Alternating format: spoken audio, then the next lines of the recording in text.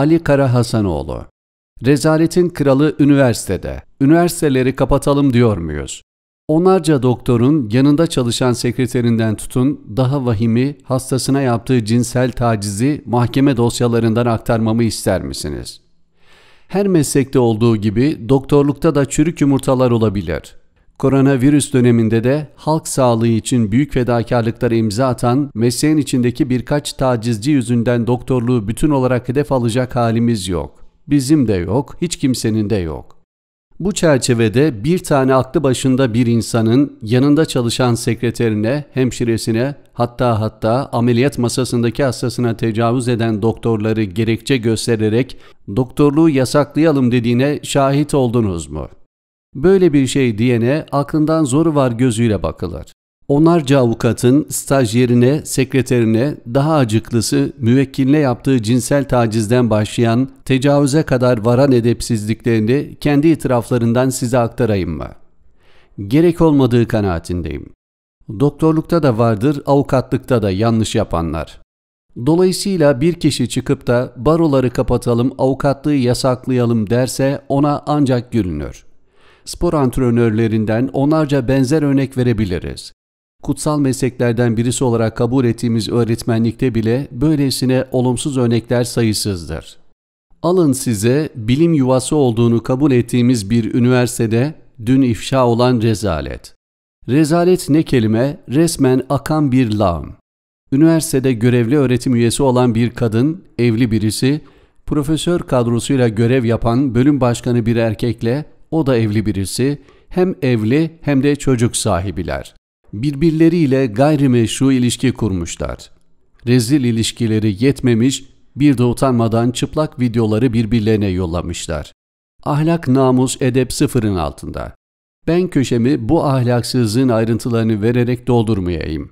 Ama şu kadarını söyleyeyim, bu rezalete imza atan öğretim üyesi kadın ve erkeğin isimleri bile hiçbir haber kanalında henüz kullanılmadı, kullanılamadı. Konu çoktan karşılıklı şikayetler sebebiyle mahkemeye bile intikal etmiş. Ama henüz görevden el bile çektirilmemişler. Sadece görev yerlerinde küçük değişiklikle yetinilmiş. Bu olay üzerinden hiç kimse kalkıp da üniversiteleri kapatalım diyor mu? Veya örnekleri tekrar baştan alalım. Hiç kimse bütün doktorlar şöyledir diyor mu? Derse doğru olur mu? Hiç kimse bütün avukatlar şöyle şöyledir diyor mu? derse doğru olur mu? Spor antrenörleri için, öğretmenler için, öğretim üyeleri için hepsi şöyledir diyen var mı? Olsa dinleyen olur mu? Olmaz.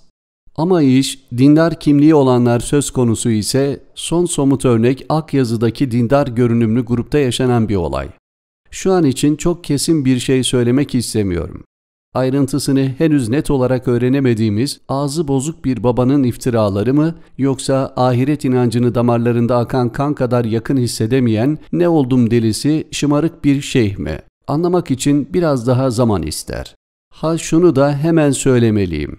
Küçük kıza istismar olarak gösterilen eylemden çok daha öncesinden başlar. O tarikat evindeki kişilere benim eleştirilerim.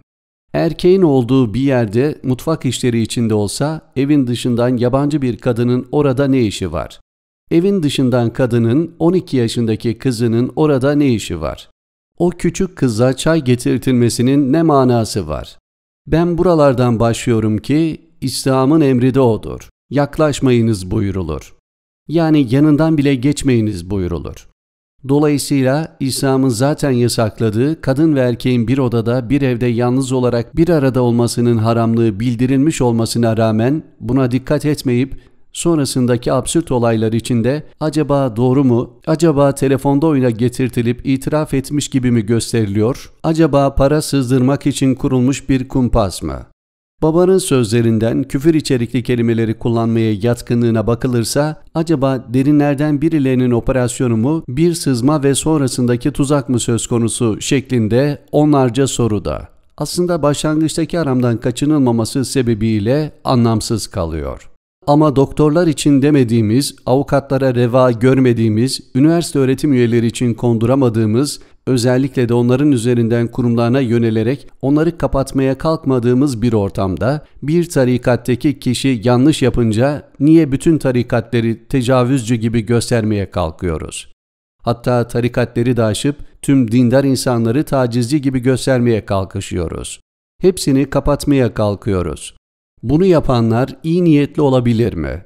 Değişik gruplardan onlarca kişinin ahlaksız ilişkisini iki satırla geçiştirip dindar görünümlü birisinin istisnaen bir yanlışı söz konusu olunca çoluk çocuk demeden onlarca ayrıntısıyla olayı abartarak tüm dindarlara mal etmeye kalkışanlarda azıcık ahlak var mı?